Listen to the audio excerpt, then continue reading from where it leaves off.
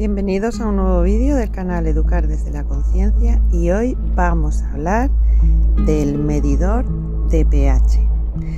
Este yo lo compré para hacer Hormus y bueno, ahí me explicaron cómo hacer el, la calibración porque no puedes comprarlo y utilizarlo así sin más, hay que calibrarlo. Entonces, bueno, esto me lo enseñó Judith. Muchas gracias, Judith, por porque claro, sin esto es como que te puede coger cualquier pH, ¿no? No, es eh, preciso, digamos, ¿no? Entonces hay que comprar, si te mides el medidor de pH, que sea que tenga temperatura, que mida el pH y la temperatura, es importante, ¿vale? Y luego para hacer la calibración hay que comprar estos sobres tampón, se llaman, y los que vienen los tres, pero los que se utilizan son los de 9,18 y los de 6,86. Ves que pone a 25 grados, ¿no? Por detrás de cada sobre hay una tabla. A ver si se ve bien. Ahora. De las temperaturas a mano izquierda y luego según los pHs, cómo te va a calibrar el calibrador. Es sencillo. Voy a hacer ahora un videíto de pues cómo calibrarlo, ¿no? Pondremos en este bote pequeño el pequeño 686 y en un vaso más grande el grande de 918. Esto hay que prepararlo del día anterior. Se disuelve un sobre de estos en 250 mililitros de agua destilada. Tiene que ser agua destilada. Entonces lo disuelves bien, que pase un día, asegúrate que no hay ningún gránulo, ¿no? ningún grumo ni nada. Y ya al día siguiente lo puedes utilizar. Vamos a ver cómo se puede hacer para calibrar. Es muy sencillo. Si os dais cuenta, tiene aquí un botón que pone cal. Ahí, ese es el que se usa para calibrar. Se mantiene apretado hasta que te dice end. Y ya él te lo lleva a la calibración automáticamente. Es muy sencillo y es obligatorio hacerlo para utilizar el medidor de pH, ¿vale? No se puede utilizar el medidor de pH sin haberlo calibrado primero, ¿sí? Es muy importante. Yo para diferenciarlos bien, aunque luego también se les puede pegar la etiqueta como aquí, que la tengo pegada, este vaso que es más finito es el de 686 y este que es un poco más grueso el de 9, así los diferencio. Igual que cuando los paso a un vaso, utilizo uno más grande y uno más pequeño para no confundirme de cuál es cuál, ¿vale? Porque luego a veces entre el vaso de, para el agua destilada, porque hay que lavarlo, entre que lo metes de uno y uno. Ahora utilizo esto, un vaso de chupito. Pero bueno, lo que quería explicar es los 250 mililitros con el sobre, los metes en un bote y 250 mililitros de agua destilada con el otro sobre, los metes en, otros, en otro bote. Luego cuando voy a hacer la calibración solo pongo un poquito. Pongo un poquito aquí dentro, un culín, solo lo, justo para que llegue aquí y lo pueda medir y ya está, ¿vale? Entonces, poquito aquí, un poquito en otro vaso y ahí es cuando voy haciendo la calibración y siempre, siempre hay que limpiarlo entre eh, cuando lo sacas de un bote y lo metes en el otro, hay que limpiarlo con agua destilada en ese vaso de chupito que tengo ahí, lo limpio y luego con un paño de algodón lo seco antes de meterlo en el otro lado, ¿vale? Esto es importante, Está ya casi a 25 grados. Hay que conseguir que esté 25 grados justos. Ya va a estar. Entonces, cuando está a 25 grados,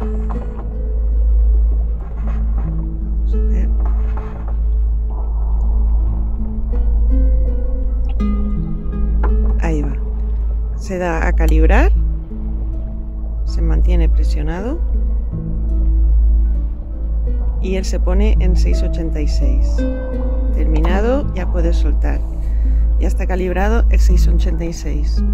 Luego hago,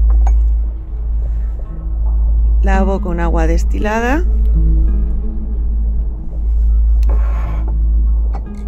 Y lo meto en el otro tampón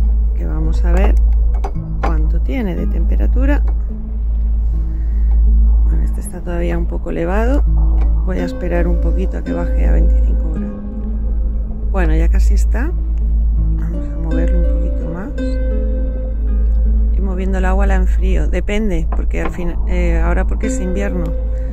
Si es verano es lo contrario, tengo que refrescarla. Entonces voy poniendo los vasos en la nevera para que baje a 25 grados si hace mucho calor pero en invierno lo que hago es que los pongo al lado de la estufa para calentarlos a 25. Vale, 25 grados. Le damos al botón de cal, de calibrar.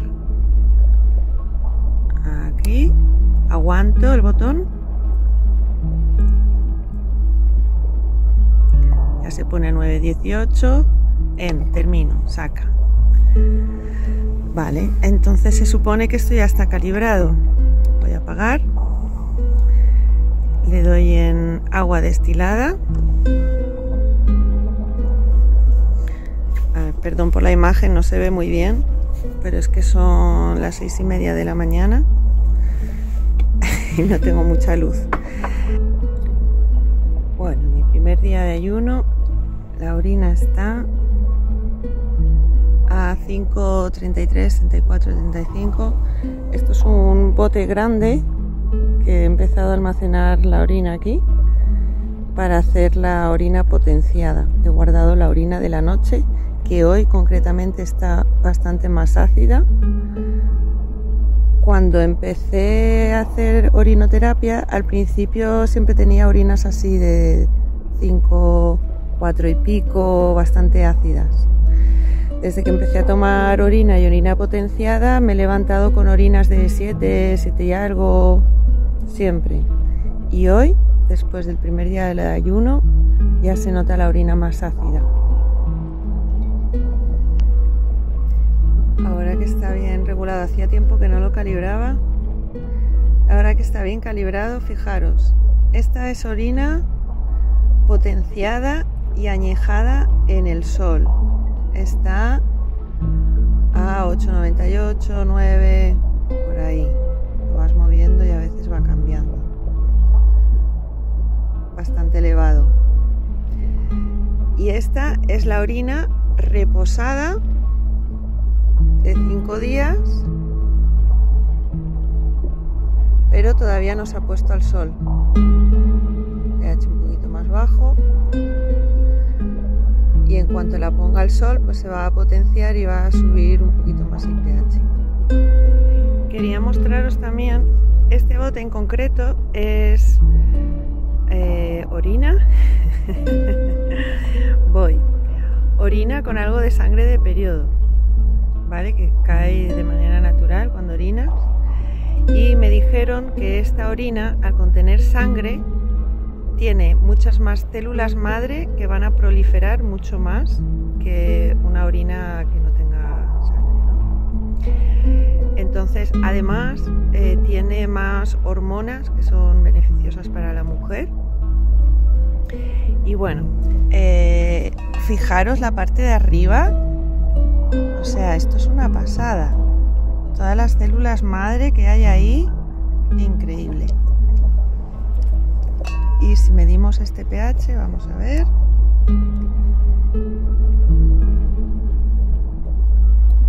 9,11 incluso más elevado. Bueno, va cambiando, 9,9, pero sí, por ahí. Un pH bastante elevado también. Bueno, pues quería mostraros hoy todo este tema, que es un temazo, la verdad, para mi gusto. Esto es un temazo. Dejo desde Santillurta a ver si consigo una imagen de la isla de La Gomera, amaneciendo aquí por encima de las nubes, con la luna poniéndose allá. No se ve muy bien. Hay un poco de calima ahí abajo, calima o lo que sea eso. Pero bueno, aquí por arriba de las nubes siento menos calimazo de ese trail o lo que sea. Bueno, que tengáis un buen día a todos. Si os surge alguna duda, ponerlo en los comentarios del vídeo.